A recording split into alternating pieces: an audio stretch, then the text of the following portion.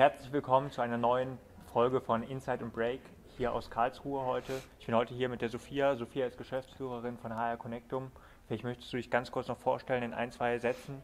Und äh, dann starten wir auch mit dem Thema heute die Hin- und Wegbewegung von Bewerbern und warum Wechselmotive so wichtig sind. Ja, vielen Dank, Yves, für deine Einladung. Herzlich willkommen auch von meiner Seite. Ich bin Sophia. Gemeinsam mit dem Yves haben wir 2016 HR Connectum gegründet. Ähm, ich bin jetzt bei HR Connectum in der Zwischenzeit maßgeblich auch äh, in der Verantwortung, wenn es um das Thema operative, also wirklich Durchführung der Recruiting-Kampagnen geht. Und entsprechend ist mein Thema natürlich auch Wechselmotive. Wie kann man Bewerber am besten überzeugen? Sophia, was ist das Wichtige an Wechselmotiven? Das ist eine gute Frage. Da möchte ich dir äh, einfach kurz ein Beispiel erzählen.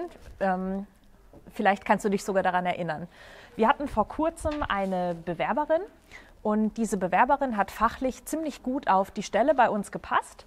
Als wir uns dann mit ihr auseinandergesetzt haben, kam dann aber ziemlich schnell raus, dass sie nicht so sehr an HR Connectum interessiert ist, sondern vor allen Dingen ganz, ganz dringend und ganz, ganz schnell weg möchte von ihrem derzeitigen Arbeitgeber, sodass wir dann gar nicht mehr so sicher waren, okay, will die Person jetzt wirklich zu uns oder will sie einfach nur ganz, ganz schnell weg von ihrem derzeitigen Arbeitgeber? Und ähm, was ich da insbesondere gemerkt habe, einmal mehr, wie wichtig eigentlich das Thema Wechselmotive ist. Und es gibt unglaublich viele Wechselmotive. Es kann sein, dass man sich weiterentwickeln möchte. Es kann sein, dass man mit dem Partner sich entscheidet, zu, an einen gewissen Ort zu ziehen. Es kann sein, dass man ähm, ja auch wirklich in einer Unzufriedenheit ist beim gegenwärtigen Arbeitgeber. Also man muss da ganz, ganz genau und präzise schauen, okay, was ist eigentlich das Wechselmotiv um zu schauen, okay, passt das jetzt eigentlich zu der Position, zu meinem Unternehmen? Will ich so jemanden bei mir haben?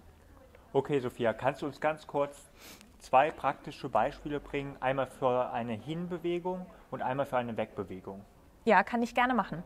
Also, klassische Wegbewegung ähm, habe ich ja jetzt auch schon vielleicht ein bisschen im Beispiel gesagt. Eine Person ist unzufrieden im derzeitigen Unternehmen und möchte da weg.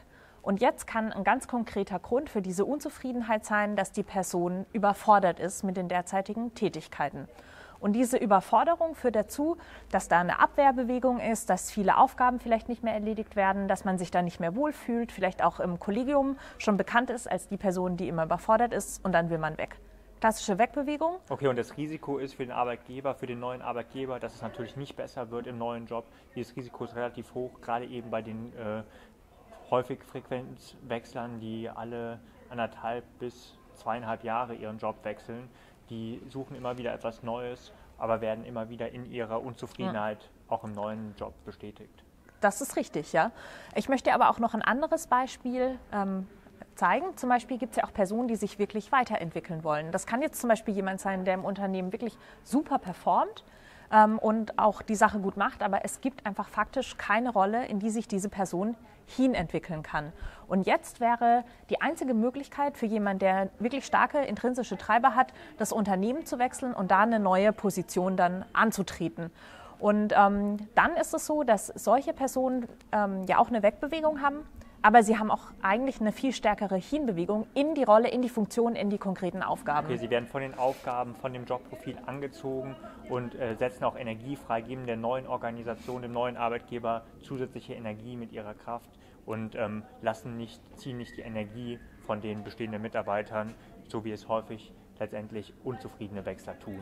Richtig. Okay, super. Ja. Sophia, kannst du uns zum Abschluss noch ein, ähm, eine praktische Vorgehensweise äh, mitgeben, wie Arbeitgeber eben Mitarbeiter anziehen, die mit einer Hinbewegung zu ihnen kommen und eben nicht solche, die nur aus Grund von einer Wegbewegung den Job wechseln. Es steht und fällt mit der Kommunikation. Du als Arbeitgeber gibst eigentlich vor, welche Motive relevant dann auch für den Bewerber für einen Wechsel werden. Wenn du zum Beispiel ziemlich viel von Freizeit, von der Möglichkeit zum Ausgleich zum Beruf sprichst, wenn du viel mit Kickertischen oder sonst was argumentierst, wirst du vermutlich Personen anziehen, denen das besonders wichtig ist.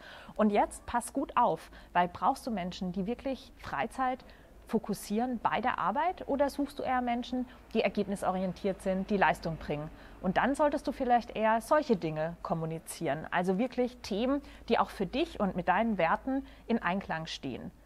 Äh, das ist ganz wichtig, weil Menschen, die sich monetär interessieren und monetär motiviert sind, werden von monetären Argumenten angesprochen. Menschen, die leistungs- und ergebnisorientiert sind, werden von solchen Argumenten angezogen. Und es gibt wirklich Studien, die genau das belegen. So wie du kommunizierst, so wie du sprichst, genau solche Personen ziehst du an. Und wenn du Personen möchtest mit einer klaren Hinbewegung, die auch zu deinen Werten entsprechen, dann kommuniziere deine Werte, kommuniziere deine klaren Zielvorstellungen und dann wirst du auch genau solche Personen treffen können. Okay, super. Vielen Dank, Sophia, für die spannenden Insights heute hier bei Inside and Break. Und äh, wenn dir das Video gefallen hat, dann teile das in den sozialen Medien, teile es vor allen Dingen auf LinkedIn und besuche auch mal unsere Website www.hlconnectum.de. Vielleicht ist da das Passende für dich dabei. Ciao, tschüss, auf Wiedersehen hier aus Karlsruhe. Vielen Dank auch von mir.